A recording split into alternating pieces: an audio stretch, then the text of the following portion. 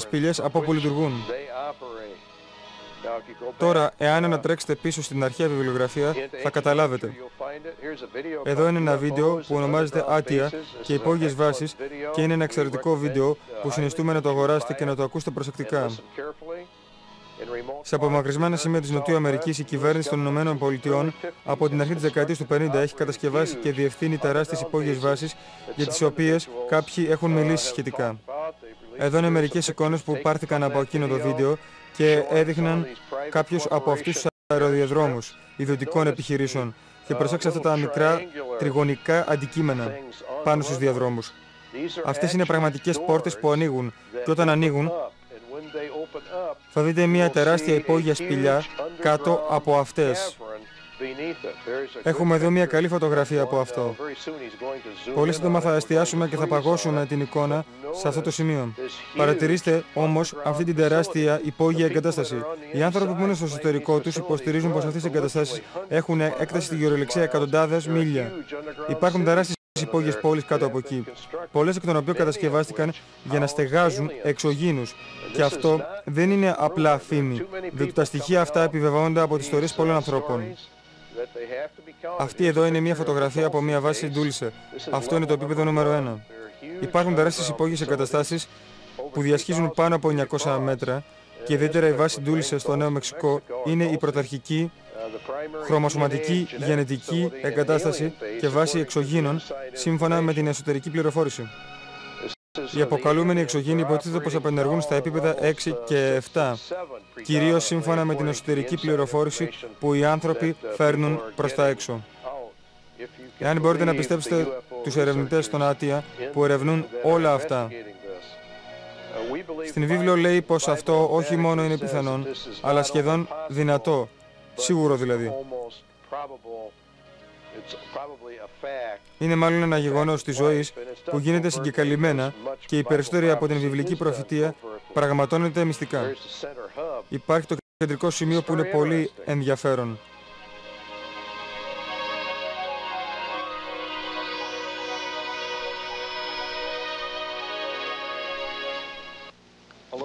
Μια μικρή λεκτική περιγραφή εδώ.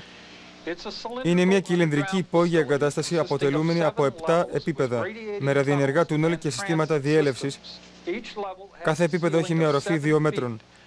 Εκτός από τα επίπεδα 6 και 7, όπου οι οροφές είναι 14 και 18 μέτρα αντιστοίχως. Είναι ακριβώς 14 μέτρα ανάμεσα σε κάθε επίπεδο. Του πρώτου επίπεδου οι οροφές ξεκινούν 60 μέτρα κάτω από την επιφάνεια. Η μέση οροφή ενός τούνελ με διάδρομο μεταφοράς είναι 7,5 μέτρα. Το κέντρο στη βάση έχει έκταση 900 μέτρα από τη μία άκρη στην άλλη. Η βάση εκτείνεται 1.700 πεζοδρομημένα μίλια από το νότιο Νέο Μεξικό μέχρι τη βάση Ντόλση του Λος Άλαμος και έχει άλλα 200 μίλια από τούνελ που εκτείνονται δυτικά. Η βάση εξακολουθεί να επεκτείνεται. 20 μίλια νότια του Ντόλση υπάρχει ένα μεγάλο υπόστεγο το οποίο περιτριγυρίζεται από λόφους. Τα κανάλια αερισμού είναι κρυμμένα από θάμνους ή διόδους μέσα σε σπηλιές. Υπάρχουν πέντε κάμερες ασφαλείας που παρακολουθούν και καταγράφουν αυτές τις διόδους. Υπάρχουν πολλοί τύποι αισθητήρων, ραντάρ υπέρυθρων ακτίνων, ηλεκτρομαγνητικοί διάδρομοι, εδάφους και δορυφόροι. Ένα από τα πράγματα που μου είπε είναι πως καταφθάνουν τη νύχτα και όταν τα φώτα διαδρόμου πέφτουν σε ένα συγκεκριμένο υπόστεγο. Έμεινε έκπληκτος βλέποντας δύο ζωντανούς εξωγήνους να στέκονται έξω από το υπόστεγο. Ήσαν περίπου 1,5 μέτρο ψηλοί. Οι πόρτες του υποστέγου άνοιγαν και μπορούσε να δει πως υπήρχε επίσης ένα ειδικό άνοιγμα στον ουρανό. Μέσα στο υπόστεγο και ετοιμάζονταν να πάρουν τον δίσκο και να τον αποθηκεύσουν σε αυτό το υπόστεγο. Και υπήρχαν ήδη δίσκοι μέσα στο υπόστεγο. Πιστεύω περίπου έξι από αυτούς. Οι έξι φυλές εξωγήνων που υποστηρίζει πως είδε είναι η ανθρώπινη πορτοκαλί φυλή, η ψηλή γκρίζη με μακριές μύτες, η κοντή γκρίζη. Ένας άλλος τύπος που μοιάζει κάπως σαν τις φωτογραφίες που χρησιμοποιήθηκαν σε μια αεροπορική εβδομάδα και ένας άγνωστος τύπος. Είμαι σίγουρος ότι κάπου στα 1950 ένα σχέδιο επινοήθηκε, ίσως και πιο πριν από εκείνη την εποχή. Το να κατασκευαστούν εκτεταμένες υπόγειες εγκαταστάσεις και να αποθηκευτούν σε αυτές κάποια από αυτά τα αντικείμενα και να δημιουργηθούν εργαστήρια ερευνών έτσι ώστε αυτά τα αντικείμενα να μελετηθούν. Και πιθανόν μία άλλη προτεραιότητα ήταν να εδραιώσουν επικοινωνία με τους εξωγήινους. Τώρα είναι προφανές πως είχαν ήδη εγκαινιάσει κάποιο είδους επικοινωνία με τους εξωγήινους από την περίοδο του έτους 1948.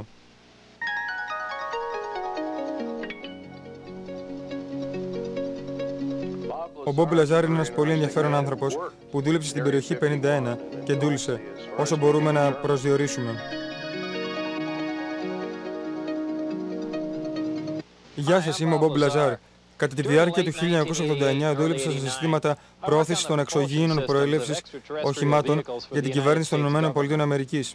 Η τεχνολογία στην οποία εκτέθηκα θα έπρεπε να δοθεί στα κατάλληλα χέρια της επιστημονικής κοινότητας και είναι το δικαίωμα κάθε προσώπου στη γη να γνωρίζει πως υπάρχει φυσική ένδειξη που αποδεικνύει την ύπαρξη ζωής και αλλού και πως τουλάχιστον μία μορφή ζωής βρίσκεται εδώ. Είμαι ένας φυσικός.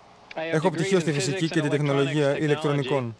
Δούλεψα σε έναν αριθμό επιστημονικών προγραμμάτων, κάποια εκ των οποίων απαιτούν υψηλής μυστικότητας διαπιστευτήρια ασφαλείας, από τα οποία τα περισσότερα ευκόλω αναγνωρίσιμα είναι η πρώιμη δουλειά μου κατά τη διάρκεια 1980 εδώ στι εγκαταστάσει φυσικής στο Λο Άλαμος, στο Νέο Μεξικό.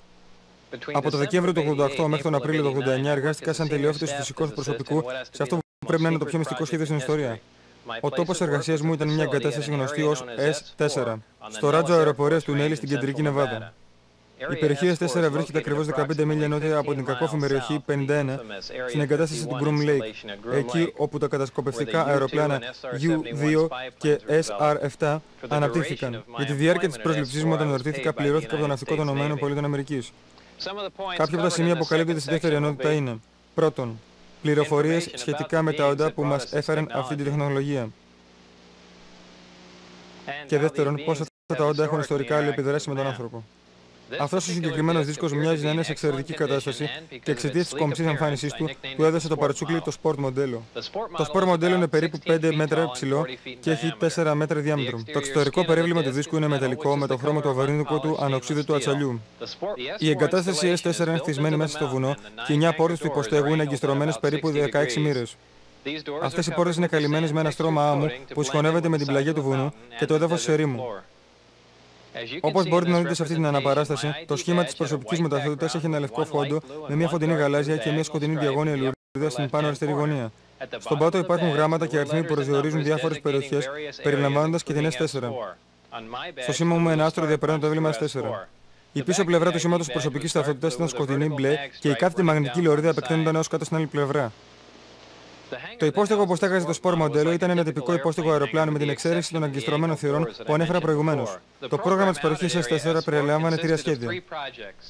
Το σχέδιο Γαλιλαίος, το σχέδιο Σύντροφος και το σχέδιο Καθρέφτης. Το σχέδιο Γαλιλαίος σχετίζονταν με τη βαρυτική πρόθεση και ήταν η πηγή όλων των πληροφοριών που μάθετε σε αυτή την πρώτη ενότητα. Το σχέδιο σύντροφο ασχολούνταν με ένα όπλο ακτίνας και είχε μια πηγή νετρονίων και ήταν επικεντρωμένο σε μια βαρυτική λόγχη.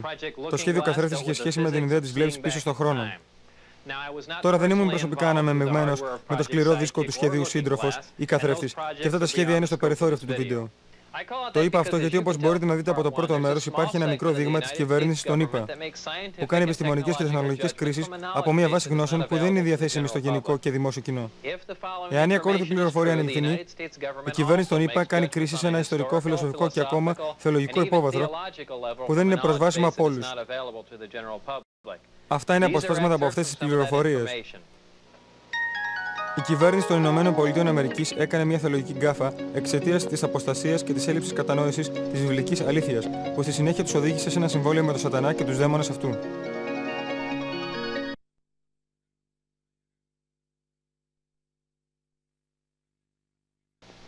Τα όντα έχουν ύψος από 1 έως 1,5 μέτρο και βάρος 11,5 έως 23 κιλά. Έχουν γκρίζο δέρμα και μεγάλα κεφάλια με χέρια και σχηματισμένα γουρλωτά μάτια. Έχουν πολύ λεπτοκομμένη μύτη, στόμα και αυτιά και είναι άτριχοι. Αυτά τα όντα είπαν πως ο άνθρωπος ήταν το προϊόν εξωτερικά διορθωμένης εξέλιξης. Είπαν πως οι άνθρωποι σαν είδος έχουν γενετικά τροποποιηθεί 65 φορές. Αναφέρονται στους ανθρώπους σαν δοχεία, αν και δεν ξέρω τι ακριβώς περιέχουν. Στο βιβλίο «Εξωγήινες υπόγειες βάσεις» από τον επωνομαζόμενο διοικητή Χ, και αυτός είναι ένας ενδιαφέρον τρόπος για να καλύψεις τα έχνη σου. Εδώ είναι κάποιοι χάρτες των ΗΠΑ και του Καναδά που παρουσιάζουν κάποιες από τις αλληλοσυνδεόμενες σύραγγες και υποστηρίζουν ορισμένοι πως εκτείνονται σε ολόκληρο τον πλανήτη Γη. Η βίβλος έτεινε να επιβεβαιώσει πως υπάρχουν υπόγεια τούνελ. Στην Νότια Αμερική αυτές είναι βάσεις άτια. Πήραμε κυρίως πληροφορίες και τις τοποθετήσαμε σε ένα χάρτη. Οι περισσότερες από αυτές είναι στα βορειοδυτικά των ΗΠΑ, στην Καλιφόρνια, στην Αριζόνα και στην περιοχή του Νέου Μεξικού. Οι πρώιμες είναι η Ντούλσε στο Νέο Μεξικό ή η Ντούλσε στο Λος Άλαμος. Η περιοχή 51 στο Groom Lake ακριβώς έξω από το Las Vegas που είναι ένα τοπίο στη νότια περιοχή S4. Ενώ στην Καλιφόρνια έχουμε τη λίμνη της Πορσελάνης που είναι μια ναυτική έκταση στην οποία θυμολογείται ότι διεξάγονται αρκετές μυστικές επιχειρήσεις όπως και στην περιοχή Μελσάστα. Οι εξωγήινες έχιδνες παίρνουν πολλές μορφές και εμφανίζονται σε πολλές διαφορετικές γλώσσες και γραφές για να ολοκληρώσουν την ψευδέστηση της εξέλιξης σε μεγάλη κλίμακα. Έχουμε τους βόρειους που μοιάζουν αρκετά με ανθρώπους, κατόπιν έχουμε τους γκρίζους και οι γκρίζοι παίρνουν διάφορα σχήματα. Έχουμε εκείνους που αποκαλούνται πορτοκαλί φυλές. Υπάρχουν πολλές και διαφορετικές φυλές στις οποίες οι άνθρωποι δίνουν ονόματα, καθώς υποτίθεται πως υπάρχουν πολλά σύμβολα και ιερογλυφικά στη γλώσσα τους. Σύμφωνα με έσωθεν πηγές, αυτά είναι πραγματικά δείγματα των γραπτών τους και πώς ακριβώς γράφουν. Δεν έχουμε τρόπο για να το εξακριβώσουμε αυτό, αλλά η βίβλος τίνει να υποστηρίζει πως αυτό θα μπορούσε να είναι αλήθεια, πως δηλαδή θα εξελίσσονταν αναπτύσσοντας τις δικές τους γλώσσες.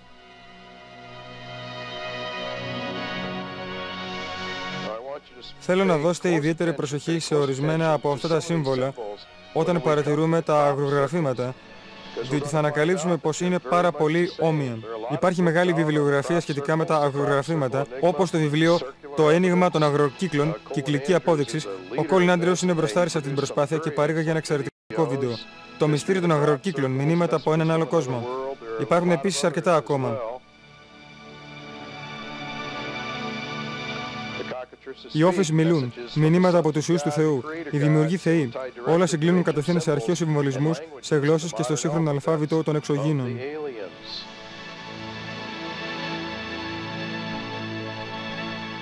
Αποτελούν ένα μυστηριώδες ένιγμα. Ο Σατανάς χρησιμοποιεί αναστραμμένη ψυχολογία στο ανθρώπινο γένος με το να δημιουργεί επαφές με άτια χωρίς ιδιαίτερες αποδείξεις και διαμέσου του μυστηρίου η ανθρωπότητα αρχίζει να αναρωτιέται τι συμβαίνει. Όλα αυτά ανάγουν το επίπεδο της συνειδητότητας σε πράγματα πνευματικά για την πνευματική προετοιμασία και αφύπνιση της ανθρωπότητας και το εξελεκτικό βήμα. Πολλά βίντεο και αρκετά τηλεοπτικά ντοκιμαντέρ έχουν παραχθεί σχετικά με τους αγροκύκλους. Στο πρόγραμμα 20 προς 20 του τηλεοπτικού καναλιού ABC, οι εκπομπές, συναντήσεις και άλλες μετέδωσαν το ανοίγμα των αγροκύκλων σε ανθρώπους όλο τον κόσμο. Με αυτόν τον τρόπο εξυψώνεται το επίπεδο της συνειδητότητας. Οι αγροκύκλοι δεν είναι μια φάρσα. Οι φάρσες είναι εύκολο να εντοπιστούν από τους ειδικούς υπάρχουν ενδείξεις γενετικών αλλαγών στις καλλιέργειες εντός των κύκλων. Τα κυκλικά σχέδια θα ξεκλειδώσουν αρχαίες μνήμες μέσα από τα ενδότερα μέρη του μυαλού και θα αποκαλύψουν το αρχαίο παρελθόν και τους υποτιθέμενους δημιουργούς Θεούς. Ο Θεός λέει πως θα πέμψει πνεύμα πλάνης στους ανθρώπους. Τα σχέδια έχουν επιρροή στους ανθρώπους. Είμαι τόσο σίγουρος γι' αυτό. Πολλοί λένε σε μένα, το έχω ξαναδεί αυτό κάπου, κάποτε, αλλά δεν μπορώ να θυμηθώ πού. Όμως το έχω ξαναδεί σημαίνει κάτι για μένα. Και έχουν δίκιο.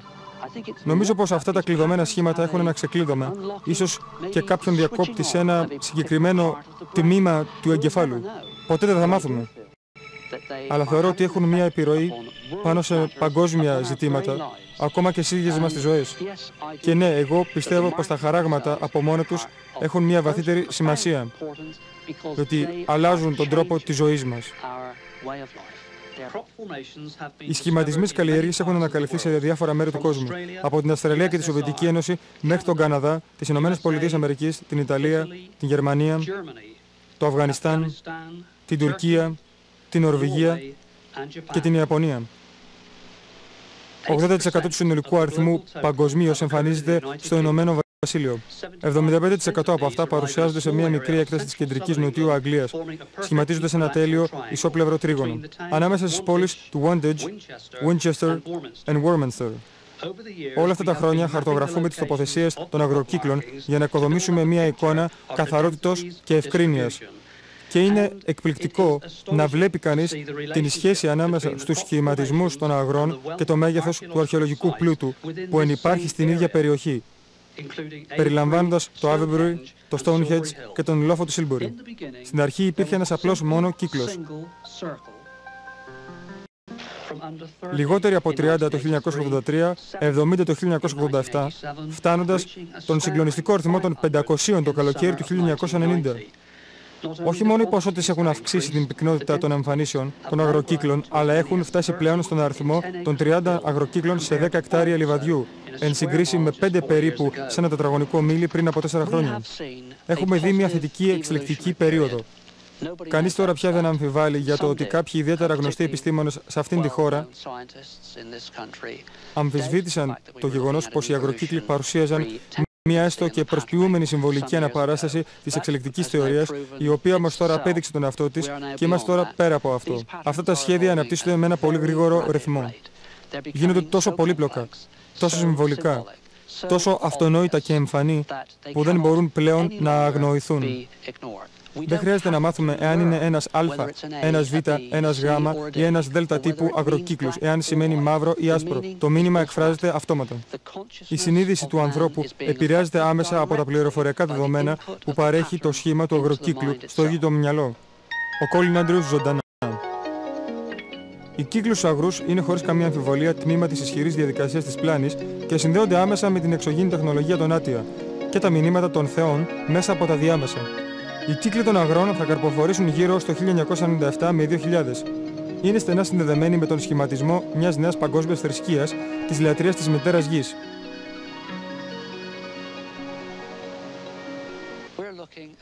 Παρατηρούμε ένα φαινόμενο σε διαρκή εξέλιξη.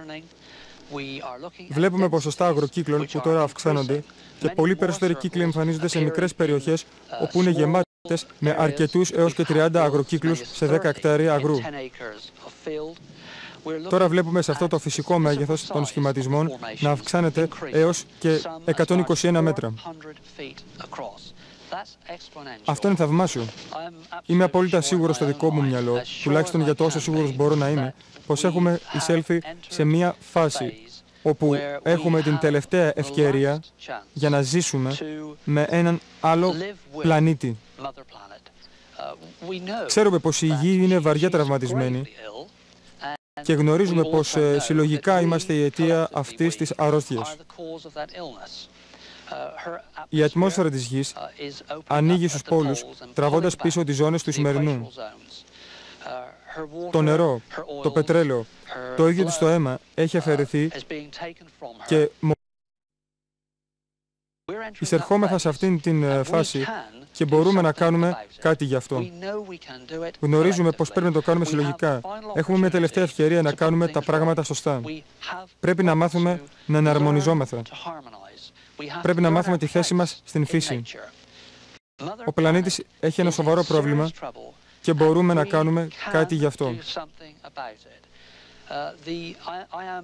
Έχω ενθαρρυνθεί πολύ από τις πολιτικές αλλαγές και το ενδιαφέρον για το περιβάλλον γενικά εκφράστηκε σχεδόν μέσα σε μία νύχτα, σαν κάποιος να πάτησε έναν ε, διακόπτη.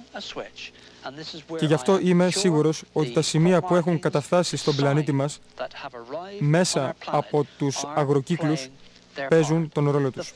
Το φαινόμενο στην ολότητά του μένει να θεαθεί όταν θα εναρμονίσουμε όλες τις αναφορές που λαμβάνουμε τώρα.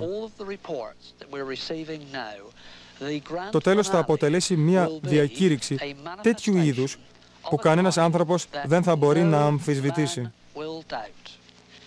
Αυτό που έρχεται μέσα από τον θόρυβο είναι το χρυσό άστρο και οι σχηματισμοί εδάφους, οι οποίοι θα είναι η διακήρυξη ενός φυσικού είδους που ελπίζω πως θα ενώσει ολόκληρη την ανθρωπότητα στην γνώση και την αποδοχή της φυσικής και συμπαντικής τάξεως.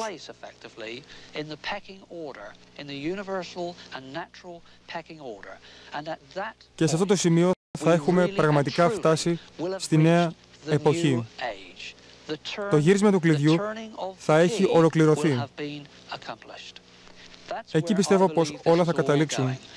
Και γι' αυτό είναι τόσο σημαντικό για την ανθρωπότητα να μελετήσει και να συμμετέχει σε αυτόν τον τρομερό καιρό όταν τα σημάδια θα έχουν καταφτάσει.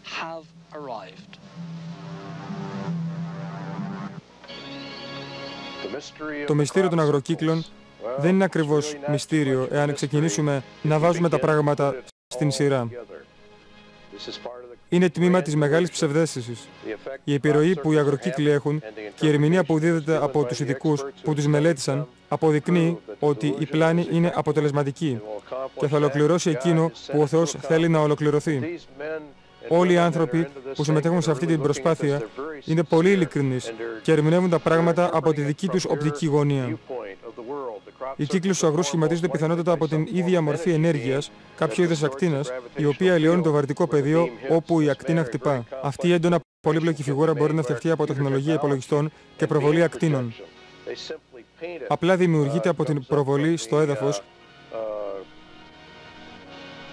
ή πιθανόν από τον ίδιο το δορυφόρο, όπου ανακλάται μέσω ενός καθρέφτη και επανέρχεται σε ένα είδος μικροκυμάτων που στην κυριολεξία σχηματίζουν το σχέδιο λίγο-λίγο.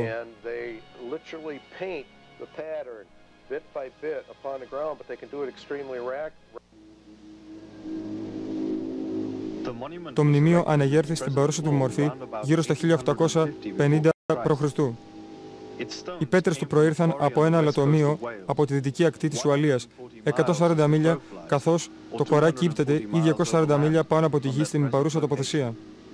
Κανείς δεν απέδειξε πόσο ο άνθρωπος της λίδινη περίοδου μπορούσε να διανύσει μεταφέροντες υλικά σε τόσο μεγάλες αποστάσεις. Ο λόγος για τον οποίο το Stonehenge φτιάχτηκε είναι σήμερα ξεκάθαρος. Ήταν ένα τεράστιο παρατηρητήριο. Η λύθη του ήταν ευθυγραμμισμένη με τον ήλιο, το φεγγάρι, τους πλανήτες και άλλους σημαντικούς αστερισμούς.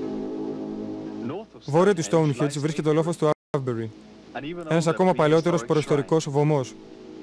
Οι αρχαιολόγοι σήμερα είναι πεπισμένοι πως ο πέτρινος κύκλος είναι πάνω από 6.000 χρόνια.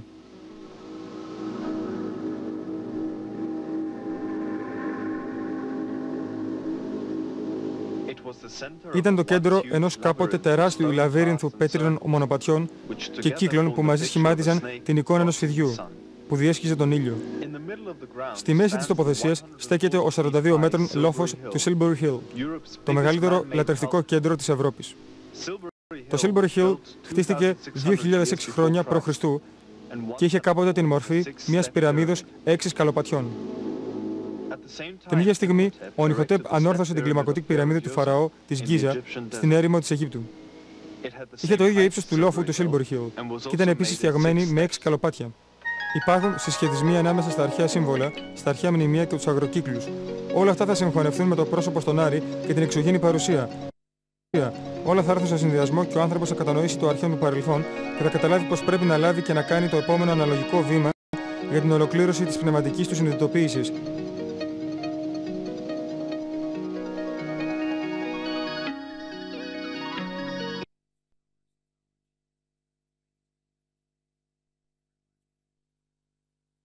Ένας τύπος είναι οι λεγόμενοι ερπετοειδείς ή οφιοειδείς, οι οποίοι μοιάζουν πολύ με ερπετά. Ερπετόμορφοι είναι αυτοί που λένε ότι ο Αϊζενχάουερ έκανε συνθήκη μαζί τους και προσκύνησε το βασιλέα τους που είναι στον πλανήτη Τύφωνα που μοιάζουν με ερπετά και συνεργάζονται με τους γκρίζους. Αν τους συνδυάσετε με τους θεούς δράκους των Μάγιας των Ίνκας θα καταλάβετε ότι έχουν σχέση και με δαιμόνια ή είναι κάποια κλωνοποίηση ερπετών με ανθρώπους. Ο άλλος τύπος είναι η γνωστή γκρίζη, αυτοί που εμφανίζονται σε όλες τις απαγωγές που φορούν ασημιστολές και παίρνουν συνήθως σπέρμα, οθήκες και έμβριο από τα ανήμπορα θύματά τους, τους κάνουν διάφορες εγχειρήσεις, βάζουν εμφυθεύματα. Αυτοί λένε ότι προέρχονται από εργαστήρια κλωνοποίησεως ή είναι η παράδοση που έκανε ο Άλιστερ Κλόουλι από, τα, από τις φωτεινές οντότητες μισοστοιχειωμένα πλάσματα και συνέχεια τα τροποποίησαν. Προσπαθούν να πάρουν σπέρμα και να κάνουν μίξη μεταξύ αυτών και των ανθρώπων. Άλλος ένας ε, τύπος είναι αυτό εδώ το ακέφαλο πλάσμα που κατέβηκε από ένα υπτάμενο αντικείμενο το 63 στο Κέν της Αγγλίας. Ήταν χωρίς κεφάλι και είχε φτερά. Σίγουρα είναι πειράματα τη κουλονοποιήσεως γενετικής επιστήμης. Υπάρχουν και τα λεγόμενα ασημείωτα, αλλά αυτά είναι λίγο σπάνια. Εδώ διαβάζετε το περιστατικό κάποιου Douglas που το πυροβόλησε και τον εκκυνήγησαν. Σπανίως εμφανίζονται. Είναι λίγο σπάνιες αυτές οι περιπτώσεις. Υπάρχουν και τα όντα σαν καλικάτζαρι. Αυτό έγινε το 21 Αυγούστου 1955 στο Hawksville του Κεντάκη. Διασκέδαζε η οικογένεια στο αγρότημά της όταν ε, εμφανίστηκε αυτό το πλάσμα, λαμπερό ασημή. Το πυροβόλησαν και μετά ε, εμφανίστηκε με άλλα πλάσματα μαζί και τρομοκράτησε την οικογένεια. Αυτά έχουν ύψους ενός μέτρου με δύο χέρια σαν νυχτερίδες, κόκκινα μάτια και ήταν εξαιρετικά σκανταλιάρικα λέει, όπως ακριβώς οι καλτσικάδες. Συσχετίστε τις σχέσεις με τους δαίμονες και θα βγάλετε πάρα πολλά συμπεράσματα. Ένα συχνό εμφανίσιμο όν είναι οι λεγόμενοι γαλάζιοι άνθρωποι με τα μπλε μάτια, οι υπερβόροι ή από τις πλειάδες που έχουν εμφανιστεί σε κάποιον κύριο Μάγερ και, ο, και πολλές φορές λέει έρχεται σε επικοινωνία μαζί τους και πολλές φορές και κάνουν και έρωτα μαζί και σε κάποιον αντάμεσα. Τα ίδια λένε ότι είναι από την υπερβορία, από την κουφιαγή ή κάποιες άλλες θεωρίες. Υπάρχει και ο τύπος του διάστημα ανθρώπου, όπως αυτό που βλέπετε στη φωτογραφία, που το είδαν δύο δασοκόμοι το 1971. Κατέβηκε από ένα άτια. Μπορείτε να διαβάσετε. Ε, είχε σαν ξυλοπόδαρα πόδια, ήταν πολύ λεπτό.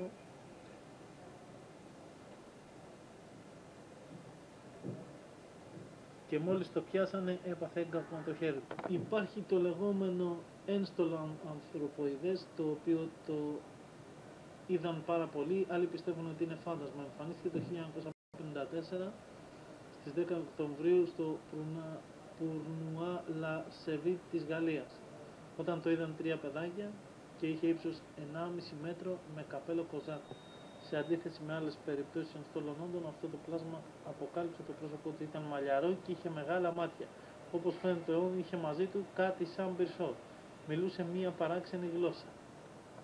Σπάνιες περιπτώσεις είναι και οι εμφανίσεις του πυθικάνθρωπου που εμφανίζεται σε πολλά μέρη που υπάρχουν UFO. Ακόμη υπάρχουν και οι δελφινάνθρωποι που έχουν κάνει πολλές εμφανίσεις όπως ο ψευδοθέος Ντόγκον που είχε εμφανιστεί στη φυλή των Ντόγκον και τους είχε δώσει και το χάρτη για το Σύριο. Αυτά εμπλέκονται με την αποκρυφολογία και με τον σατανισμό έχουν σχέση και με δαιμόνια. Ας μην ξεχνάμε, πανομοιότητες εμφανίσεις υπήρχαν και στην αρχαιότητα, όπως βλέπετε εδώ την ελληνική μέδουσα που εμφανιζόταν στους ανθρώπους. Εδώ ο τρίτονας που εμφανιζόταν στην Κελτική θάλασσα εδώ ο Θεός ψάρι της Δαχομέης, βλέπετε πως παραπλανούσε ο σατανός τους ανθρώπους και τώρα έχει κάνει συνεργασία με σκοτεινές σέκτες για να παραπλανήσει όλη την ανθρωπότητα με την πρόφαση των εξωγήινων. Ο Θεός ψάρι της Δαχομέης και εδώ ένας θαλάσσιος δαίμονας το που πίστευαν οι κάτοικοι της Χαβάης.